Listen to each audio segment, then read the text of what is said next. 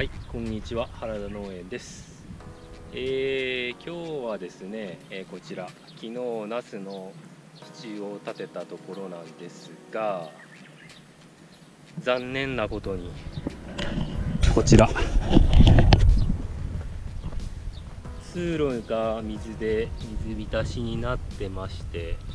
なかなか水が引けないのでまあ奥の方は全然水が引けてるのに手前の方だけ水がどうも乾かないなと思っていたらここですね。接続部分から水漏れしていて通路に水が溜まるという事件が起きてました。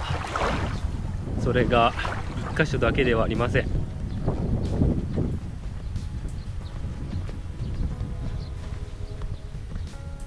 こちらもあとこちらも2箇所水が漏れてました。いやもう5年も経ってるんで結構継ぎ目とかパイプが破損したりとかで結構水漏れが多く発生してます、まあ、来年はちょっとこのパイプ自体変えようかとは思ってるんですけどアスパラで使ったポリエチレンパイプに全て変えてしまおうという計画でやっておりますんで今年は一応配管の修理のみで今水流して耐水試験してます。水圧試験してます。ちょっ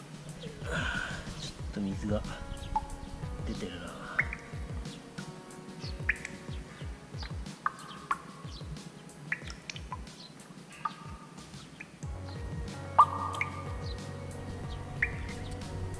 水が出てますね。ちょっと修理が必要ですね。こちらは接着タイプじゃなくて差し込んでネジをしたらペイントできるというもので修理しました。これでとりあえずは水漏れは改善したと思います、まあ、もうちょっとこのまま確認して再度